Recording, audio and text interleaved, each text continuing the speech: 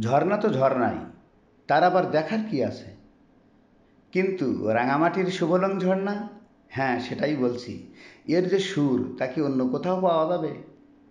এর চারিপাশে যে নৈসর্গিক দৃশ্য, তা অন্য সব কিছুকে ছাড়িয়ে যাবে। তাই আসুন ঘুরে আসি শুভলং ঝর্ণা থেকে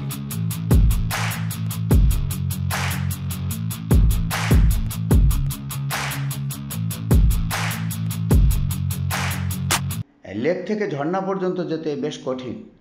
ঠিক ঝর্ণার নিচে বেশ কিছুটা জায়গার পর এত বেমানান, নিচু এবং এবড়ো থেবড়ো যে অসাবধান হলেই পা পিছলে যে কোনো ধরনের ক্ষতি হতে পারে।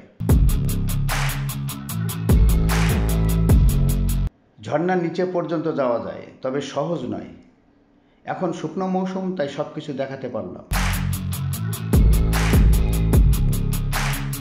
বর্ষা মৌসুমে সুবলং ঝর্ণার জলধারা প্রায় তিনশো ফুট উঁচু থেকে নিচে আশ্রয় পড়ে কাপ্তাইয়ের জলে। আর অপূর্ব সুরের মূর্ছনায় পর্যটকদের সযতনে মুগ্ধ করে। এই ঝর্ণার নির্মল জলধারা পর্যটকদের হৃদয়ে এক ভিন্ন অনুভূতির কাঁপন তোলে। ঝর্ণার পানিতে ভেজার যে মজা, তা এখানে এলেই উপভোগ করতে পারবেন। ভিজবার সুযোগ পাওয়াটাও ভাগ্যের।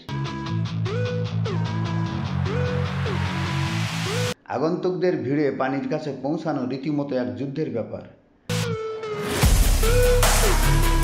তারপরেও আমার মতো একটু অপেক্ষা করে দেখুন, পেয়ে যাবেন সুযোগ।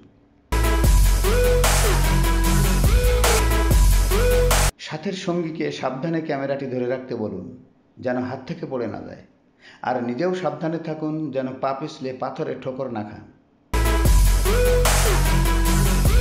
আমাকে নিয়ে কয়েকজন পিছলে পড়েছে, যদিও ব্যথা পাইনি।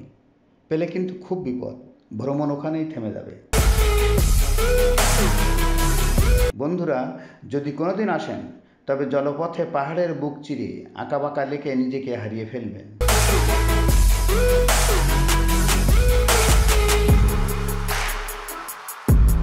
ফেললেও সজাগ থাকবেন যেন কোনো সৌন্দর্য মিস না হয়।